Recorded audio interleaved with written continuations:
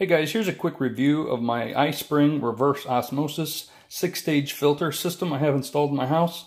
On the left-hand side here, you can see that there's a storage tank. I believe it's about a two-gallon storage tank. On the right-hand side here, we've got the filter system itself. I chose not to mount it to the wall because it makes it much easier if I can actually pull it out, switch out the filters, which I just completed. So I can actually pull it out.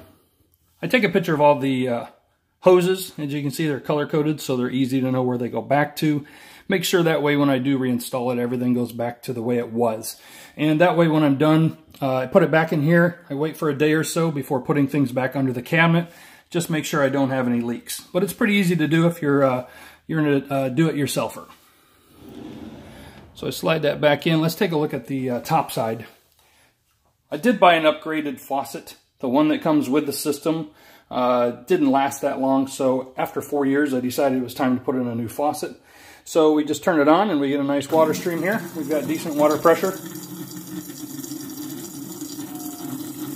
So in conclusion, uh, the system's been great. We've had it installed for over four years and definitely wouldn't be without it. I did the calculations and I think it works out to about 27 cents a day uh, for our cost of water, which is much cheaper than bottled and of course a lot less work. So hope you enjoyed the review.